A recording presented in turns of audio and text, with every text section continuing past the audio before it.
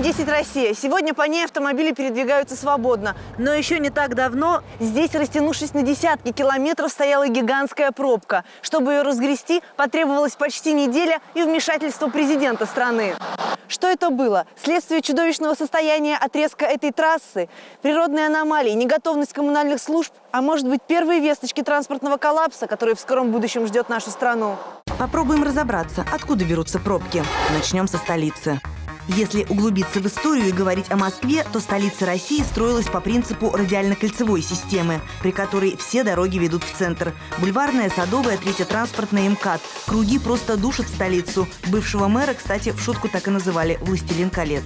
Но такая инфраструктура города при современном уровне автомобилизации, а это почти 4 миллиона машин, ведет в тупик. На окраинах пробки гарантированы из-за нехватки магистралей, в центре из-за избытка автомобилей. Тем не менее, до последнего времени дороги в Первопрестольной продолжали строить именно так. Уже даже была посчитана смета строительства нового четвертого кольца. Она была просто астрономическая. Видимо, именно это заставило градоначальника прислушаться к советам экспертов и начать строительство хорд – дорог, пересекающих столицу насквозь. Для примера возьмем несколько крупных городов в разных частях страны. В городе Сочи не только темные ночи, но и огромные, чуть ли не круглосуточные пробки. Причина здесь скорее историческая и актуальная для многих приморских городов. Вдоль побережья тянется единственная и самая длинная улица города – Приморский проспект. Все остальные дороги так или иначе ведут к морю. В результате город уже давно парализован. Но по программе строительства олимпийских объектов и развития Сочи как курорта город в скором времени получит дублер курортного проспекта протяженностью 17 километров. На магистрали планируется построить 9 тоннелей и 13 эстакад. Однако есть мнение, что дублер курортного проспекта и ряд транспортных развязок не спасут город от пробок, если не произвести серьезную реконструкцию муниципальной дорожной сети. Тут не нужно быть специалистом-дорожником, чтобы понять очевидность этой точки зрения. Имея две просторные магистральные трассы непрерывного движения и вместе с тем пробковые заторы на съездах, упирающиеся в дороги районного значения, мы получим удручающий результат. Пробки в Екатеринбурге от сочинских не отстают. Одна из самых главных собирается на пересечении трех районов – Юго-Западного, Ботанического и Вторчермета. Необходимость строительства развязки на этом перекрестке давно назрела и перезрела. Вопрос только в том, какой должна быть эта развязка.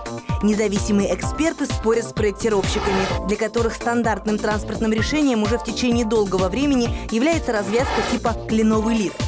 Но проблема в том, что существующий регулируемый перекресток допускает движение пешком и на велосипеде, в то время как планируемая развязка окончательно разделит лесопарк и три жилых района на несвязанные с друг другом сектора. Поэтому эксперты советуют местным властям отказаться от клеверного типа развязки пользу чего-то более компактного и рекомендуют приглядеться к одноточечной городской развязке. Single Point Urban Interchange. Этот тип развязки применяется в Европе и Северной Америке. Сибирь не отстает ни от юга, ни от Урала. Томск – старинный город. В связи с этим разрастался он хаотично и без особого плана застройки и развития дорожной сети. Позже городские улицы пытались упорядочить, и отчасти это получилось. Проблемы появились, когда машин в городе стало больше. Настал транспортный коллапс. Сегодня томские улицы в полтора раза перегружены. По одному только центральному проспекту Ленина проезжает до двух тысяч машин в час. Самой сложной проблемой, соединяющих две части города, стал небольшой узкий перешеек. Десятки студентов Томского архитектурно-строительного университета защитили дипломы по проектированию необходимой здесь развязки. Так бы и продолжалось, если бы город практически не остановился. Только в середине 2011-го Томск получил на строительство развязки 3 миллиарда рублей. За полтора вместо необходимых трех лет была возведена двухуровневая эстакада. Для ее реализации было снесено 28 зданий. Отменено движение десятков троллейбусов и трамваев. А жители ближайших микрорайонов в связи с проводимыми работами. По несколько дней сидели то без горячей, то без холодной воды. Но все запаслись терпением.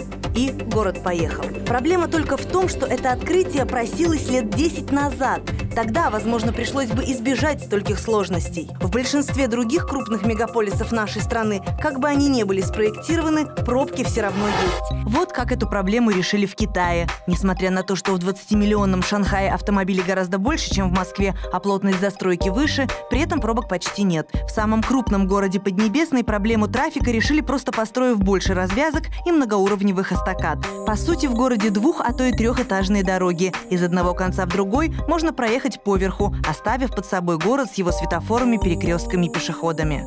Но многие все равно предпочитают пользоваться общественным транспортом. Вот почему. Бензин в переводе на наши деньги – 40 рублей за литр, драконовские штрафы за неправильную парковку и периодическое ограничение на въезд в город автомобилей с той или иной цифрой на номерном знаке. При этом в Шанхае около тысячи автобусных маршрутов, старейшая линия троллейбусного сообщения и самое большое в мире по протяженности метро – 420 километров. Но вернемся в Россию. Кольца – это сложности в основном московские. Большинство других городов в нашей стране спроектированы иначе. Однако пробки есть и в Новосибирске, и в Челябинске, и в Калининграде. И здесь другая проблема. Парковаться в нашей стране можно где угодно. Зачем покупать машиноместо, если это можно сделать бесплатно? Оставить на тротуаре, во дворе или вот так вот вдоль дороги в два, а то и в четыре ряда. В результате на проезд транспорта остается всего одна полоса. А между прочим, рядом с местом, где мы снимали, находится подземный паркинг. Но платить наши граждане не любят. Помимо прочего, в России совершенно иная культура вождения. Мало кто опасается штрафов, как в Западной Европе. Возможно, из-за небольшой стоимости российского наказания. Еще один фактор – менталитет. Но нынешняя московская транспортная администрация все-таки взялась за решение этой задачи. Скорость потока в центре Москвы на Новом Арбате значительно увеличилась. С одной стороны, как часовые дежурят эвакуаторы. С другой стороны, появились первые автоматические открытые паркинги. Несмотря на то, что стоимость такой парковки 100 рублей в час, свободных мест здесь практически нет. На территории парковки автоматическая компьютерная система учета наличия транспортных средств. На въезде и выезде размещены датчики, которые фиксируют момент заезда и выезда авто. Кроме того, все площадки оборудованы камерами. При въезде происходит видеофиксация номера и модели автомобиля. Эти данные могут быть переданы полиции, если, например, с машиной что-то произошло.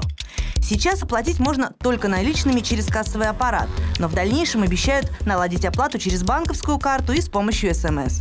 Еще одна причина заторов – объезд по обочине. Те, кто считает себя умнее других и решает обогнуть пробку справа, рано или поздно упираются в сужение дороги или сломанные автомобили. Тогда они начинают вклиниваться в общий поток, заставляя его снижать и без того невысокую скорость. Штраф за подобное нарушение всего 500 рублей, и сотрудникам ДПС не особо интересно этим заниматься.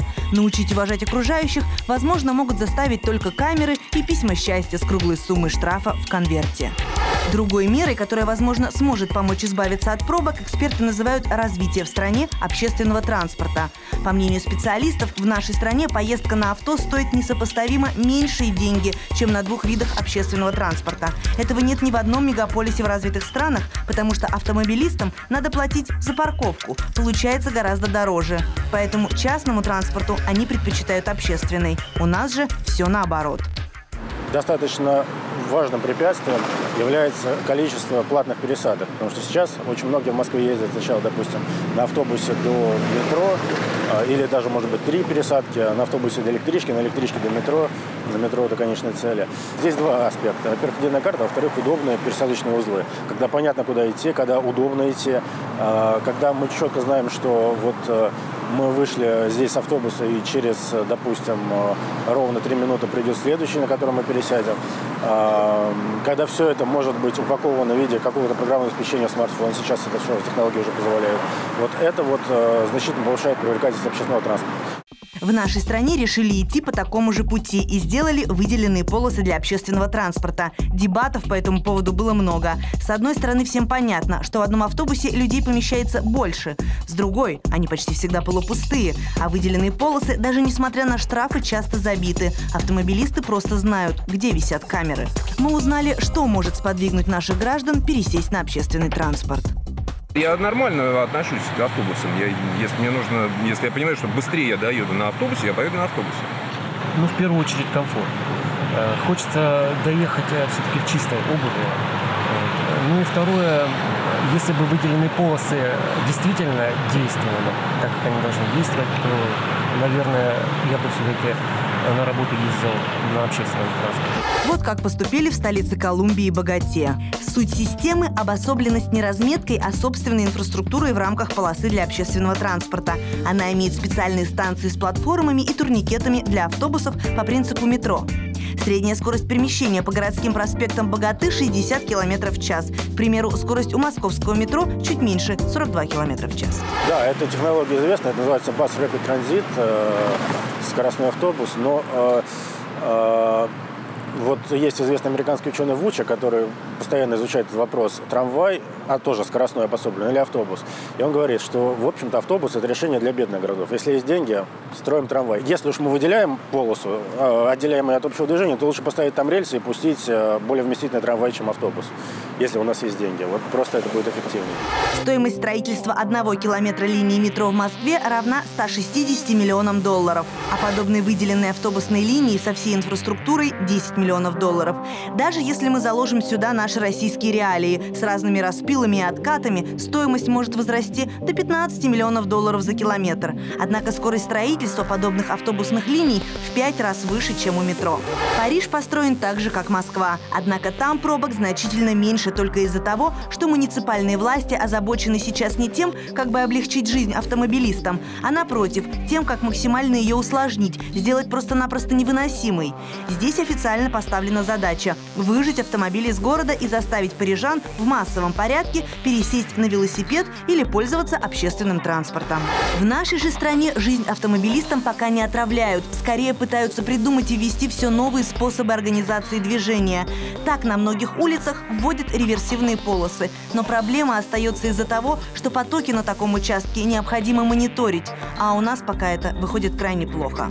Также есть идея о разрешении правого поворота на красный свет.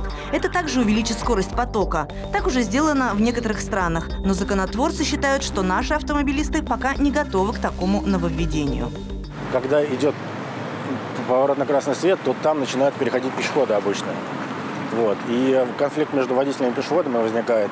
А, честно говоря, я думаю, что наши водители еще не готовы к таким испытаниям. Специалисты уверяют, что до настоящего транспортного коллапса в нашей стране еще далеко, но в перспективе он все-таки может случиться. Чтобы его предотвратить, нам необходимо устранить элементарные ошибки в организации дорожного движения, построить отводные карманы для общественного транспорта на остановках, запретить грузовикам въезд в центр городов днем и заставить транзитный транспорт ехать по объездным магистралям. А там, где невозможно расширить или построить новые развязки, вспомните о забытом опыте регулировщиков, которые помогут распутывать узлы из автомобильных заторов.